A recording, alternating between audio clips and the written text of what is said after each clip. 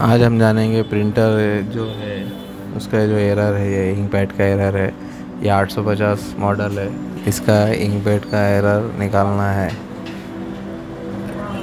ये 850 805 कोई मॉडल का एरर सेम तरीके से निकलता है। ये एरर आएगा फ्रंट डिस्प्ले पे आपके। ये अभी जो है तो मैं आपको बताऊँगा कि कौन से साइट से डाउनलोड करना है।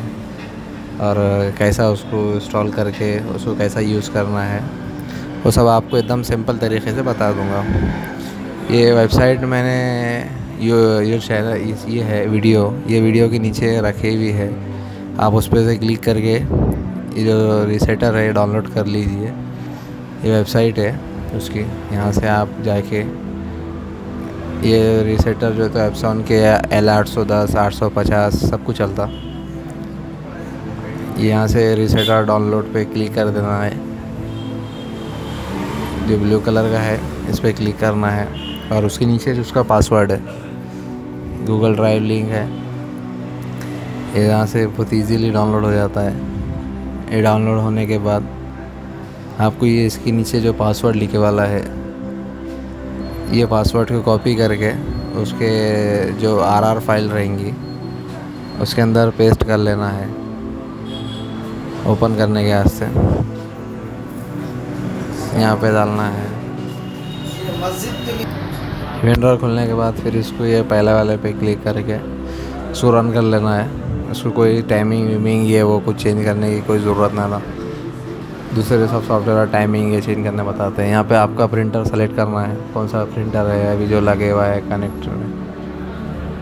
यहाँ पे आएँगे आपका मॉडल 810 है 850 फिर यहाँ पे कौन से पोर्ट में लगे वाला है वगैरह आपको पता है तो उस पर क्लिक करके ओके करके।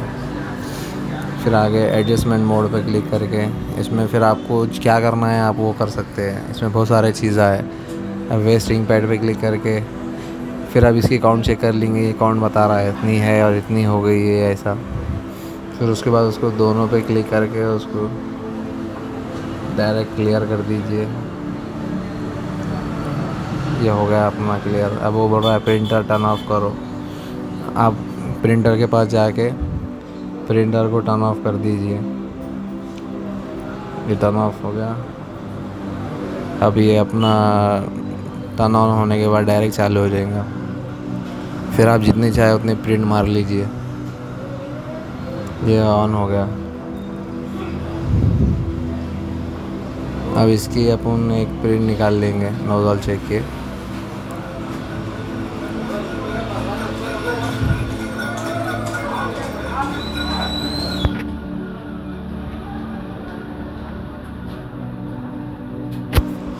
नोजल से की प्रिंट निकलने के बाद समझ में आ जाएगा।